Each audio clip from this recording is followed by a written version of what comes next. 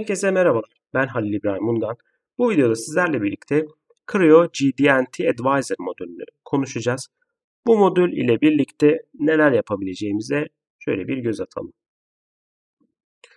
Creo GDNT Advisor modülü ile Creo içerisinde e, geometrik toleransın, toleranslandırma ve ölçülendirme işlemlerinizi e, gerçekleştirebilirsiniz.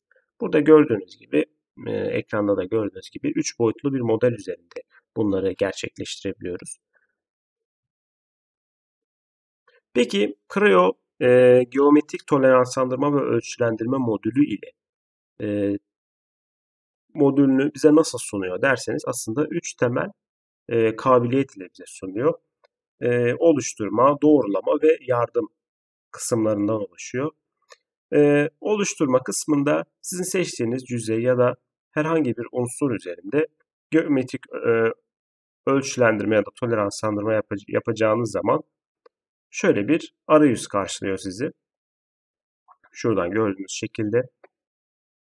Burada gerekli e, tolerans tipini ve tolerans değerlerini kolaylıkla girebilirsiniz. Buradan e, hedeflediğiniz referansları da seçtikten sonra OK tuşuna bastığınız zaman artık notasyonunuz karşınıza çıkacaktır.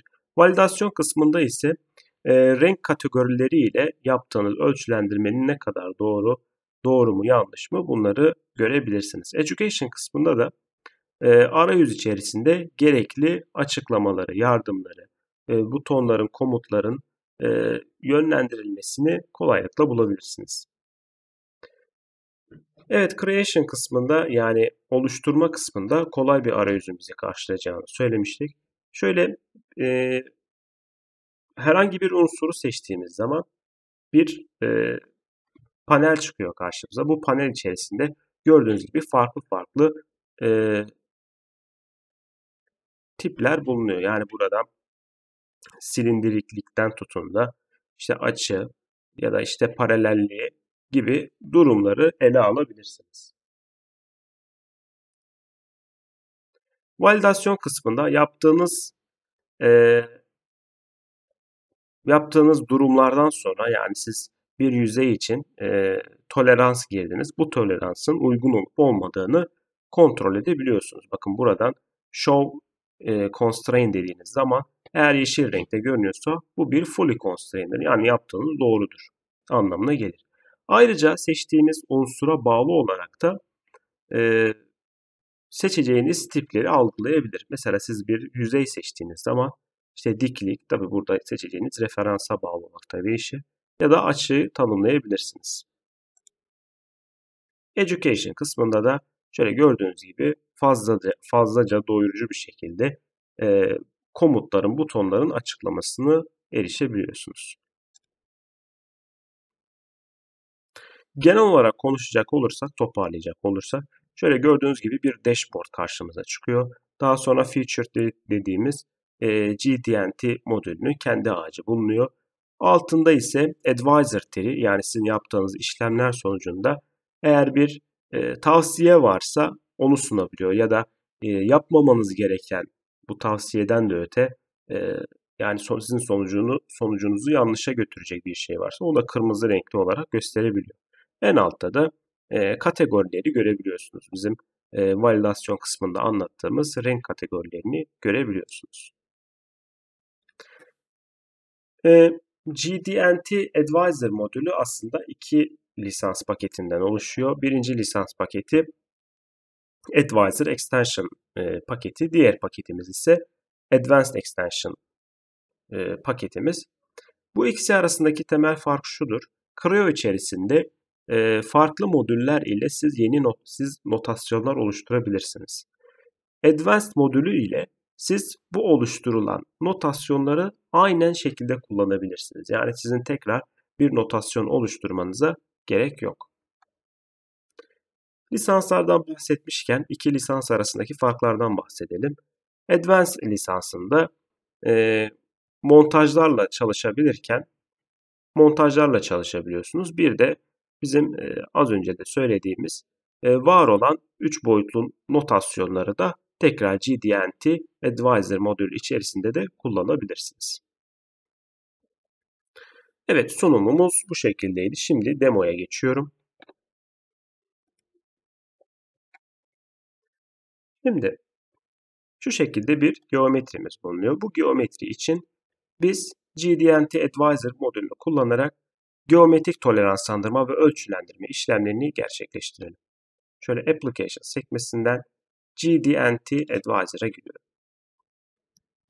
Burada gördüğünüz gibi beni bu şekilde bir arayüz karşılıyor. Bu arayüz içerisinde neler yapabiliriz? Bunlardan bahsedelim. Şöyle About kısmına baktığınız zaman aslında bu modülün e, Sigmetrix firmasının geliştirdiğini görebilirsiniz. Ee, onun haricinde tolerance feature feature'a tıklayarak bir e, unsur seçebileceğimizi birazdan göreceğiz. Tolerance pattern da aynı şekilde. E, edit properties kısmında buradan toleransları seçebilirsiniz. Tolerans standartlarını seçebilirsiniz. ASME ya da ISO. Bunların tabii gördüğünüz gibi 2009 versiyonları kullanıyor. E, bunu değiştirebilirsiniz. Nasıl değiştirebilirsiniz? File dedik, prepare dedik. Model properties içerisinde. Bakın şurada e, Detail Options'tan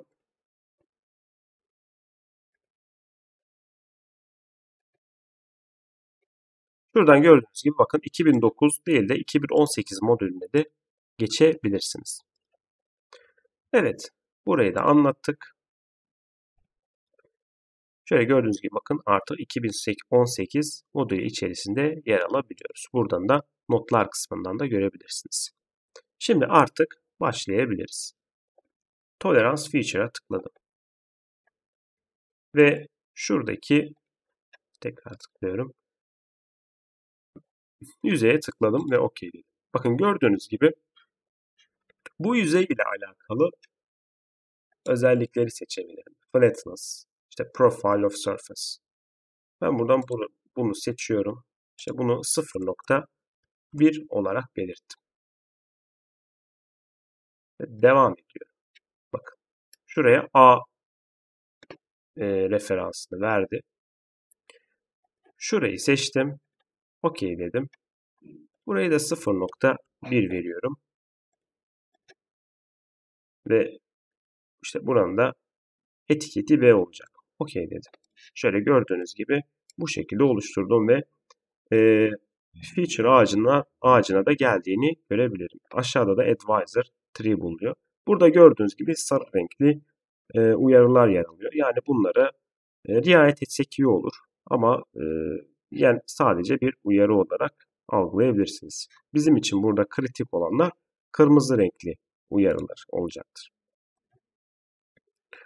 Şunu şu şekilde sürükleyerek daha görünür bir hale getirelim. Daha sonrasında buradaki slot için bir toleranslandırma yapalım. Tolerans feature'a tekrar tıklıyorum. Burayı seçtikten sonra slot diyorum. Şu şekilde seçmiş bulunduk.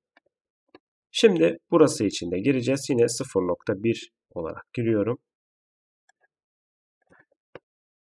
Ve OK dedim. Burası da C noktası olmuş oldu. Tabi buradaki konumumuz neye göre olacaktır? A ve B'ye göre. A ve B'ye göre 0.1'lik bir toleransımız bulunuyor. Şimdi her zaman tek bir e, tolerans girdik ama iki tolerans da girebiliriz. Şöyle tolerans feature'a tıkladım. Buradaki 3 deliği de seçiyorum. Tabii buraları da seçmemiz gerekiyor.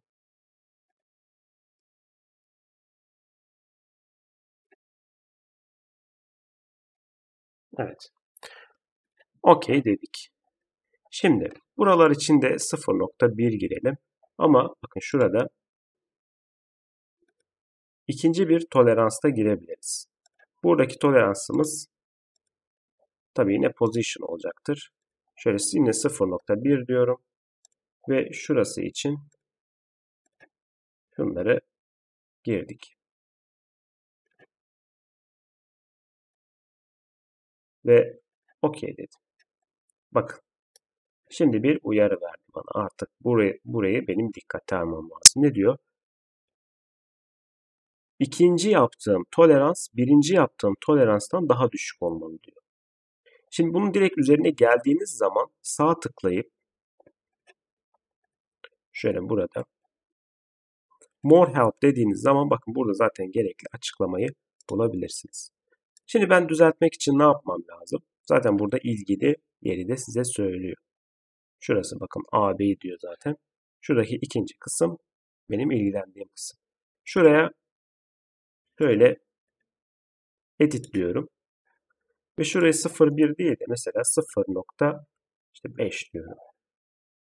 OK dediğim zaman gördüğünüz gibi kalkmış oldu. Show Constraint State'e tıkladığım zaman bakın artık burada da tanımlı olan yerleri görebilirim. Yeşil olan yerler tanımlı olan yerler. Devam ediyorum. Tolerance Feature'a tıkladım. Burayı seçiyorum. OK dedim. Burada gördüğünüz gibi bu sefer Profile Surface var. Şuraya 0.1 dedim ve OK diyorum. Bir de şurası, şuradaki silindirik kısım ve şuradaki taban kaldı. Bunları da yapalım. Tolerance Feature dedim. Burayı seçiyorum. OK dedim.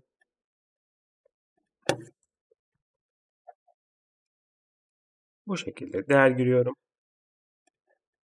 Bir de burası için değer gireceğim.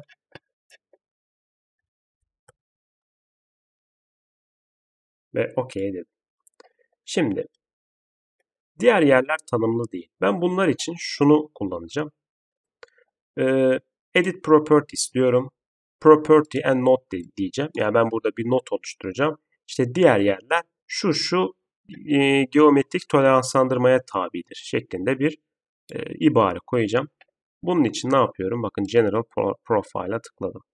Sağa doğru atıyorum. Bunu seçiyorum. İşte ne kadar olacak? Mesela 0.5 dedim. OK diyorum. Bakın artık Constraint by, by Surface Profile in Node diyor. Yani Node ile buralar tanımlanmıştır. Ee, Advisor Tree'ye baktığım zaman ise bir tane kırmızı uyarımın olduğunu görüyorum. Bakın o da, o da burası. Dediği şey de şudur. Burası toleranssız olarak belirtilmiş. Şimdi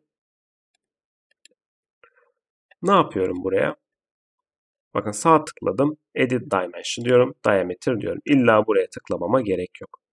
Şimdi ben burayı şöyle artı eksi simetrik olarak tanımlayayım şu şekilde. OK dediğim zaman artık onu da gidermiş olduk. Evet artık GDNT işlemlerini tamamlamış bulunuyoruz.